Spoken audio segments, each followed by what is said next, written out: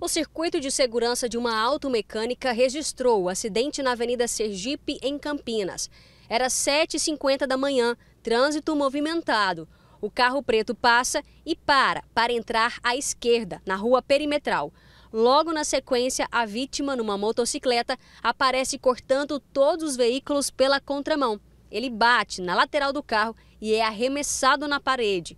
A vítima, que tinha 21 anos, morreu na hora. O condutor do veículo trabalha como motorista de aplicativo e estava finalizando uma corrida quando o acidente aconteceu. Nem o motorista nem o passageiro tiveram ferimentos. Uma equipe da delegacia que investiga crimes de trânsito esteve no local para coletar os vestígios.